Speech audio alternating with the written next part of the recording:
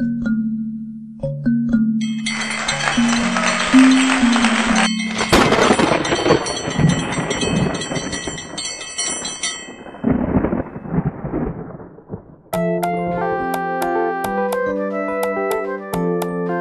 Madrat's concept.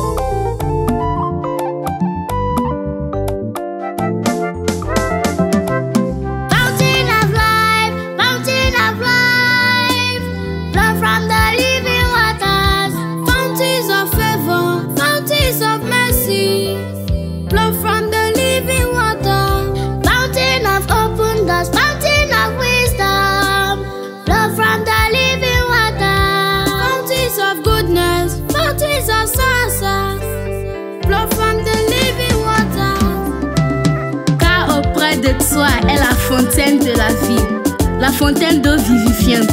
Dans la lumière, nous voyons la lumière. La grandeur de l'éternel est une source de vie pour se détourner des pièges de la